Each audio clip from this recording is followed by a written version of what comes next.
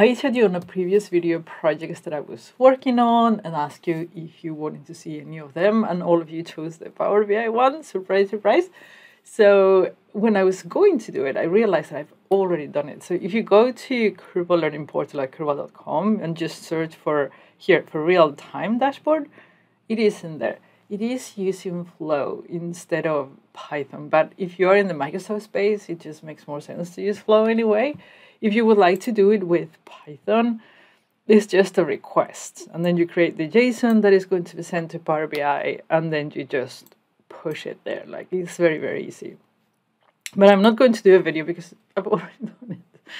Almost a thousand videos, folks. I've done a lot of stuff in Power BI.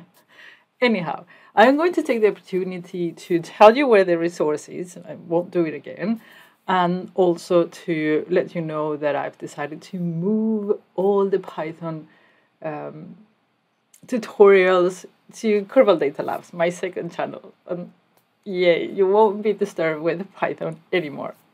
So this is how it's going to work in the future. I am going to finish releasing the crime game here for those of you that started, so you don't have to move channel and subscribe if you only want to do that. Don't, don't bother. Um, so I will publish it here when it's finished, published. I will wait for a week or two or a month maybe, and then move it to Curbal Data Labs. And then here, I will do once a week Power BI videos as I've been doing before, and uh, start doing the Python videos and Matplotlib videos or whatever it is, programming videos on the second channel. okay, so I am going to take a few days off for Easter holidays. So I will probably see you again at uh, next week, end of next week when I'm back. So enjoy your holidays if you have one, and I will see you again next week.